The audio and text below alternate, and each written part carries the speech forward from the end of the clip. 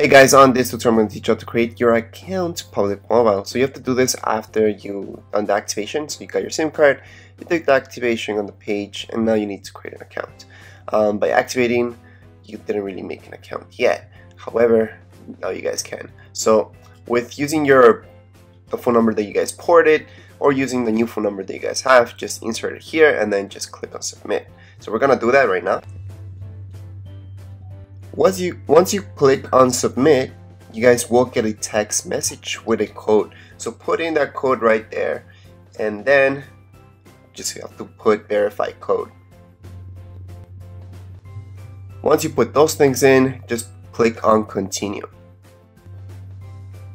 And there we go. So we have this field right here. We just have to fill it out with our email, password, and then you guys have to choose a security question and answer. Once you guys do that, just create your profile.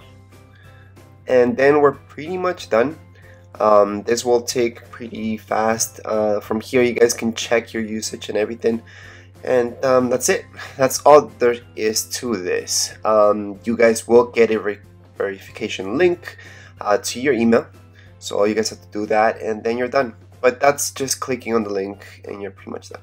Anyways, that's it for this video tutorial. If you guys have any questions, comments, you can write them down here in the comments area. And don't forget to subscribe and rate. Thank you.